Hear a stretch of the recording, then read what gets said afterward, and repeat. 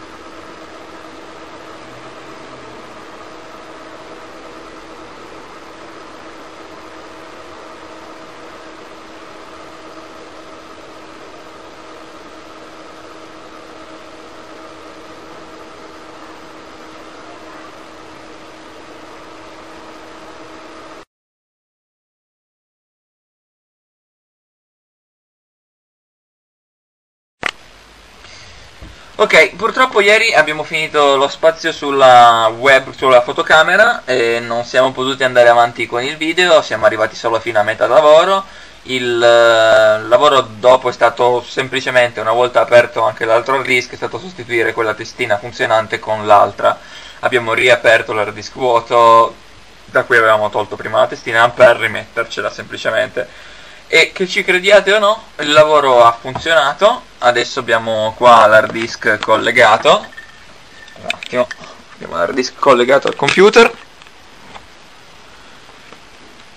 con l'interfaccia USB e adesso stavo montando il video da caricare su YouTube. Qua abbiamo usato un tool di recupero sia di partizione che di dati e adesso vediamo che tutto sommato è riconosciuto l'hard disk viene riconosciuto eccolo qua. Sono 27,9 giga. Questo eh, dalla fotocamera non si vede che sono 30 giga. Eh, vi posterò il modello nel video così se, se, non siete curiosi magari potete verificare. Non sto dicendo minchiate. Va bene. Mm, credo che mi sia andata bene più che altro più che bravura. Grazie.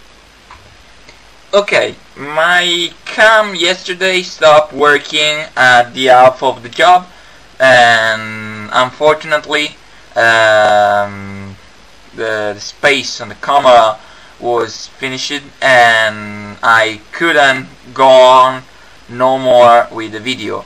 So today believe it or not it works. Job is done and it works. Uh, let's see. Uh, we uh,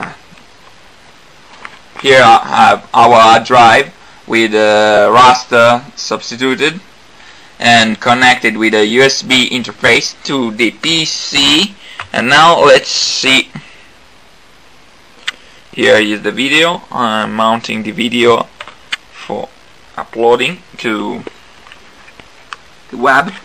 And here is a list of files recovered from the hard drive and here is the hard drive finally recognized. As we can see is 27.9 giga and here is uh, uh, is not possible to see probably.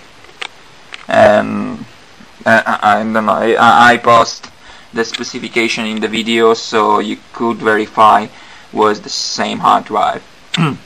Okay See you.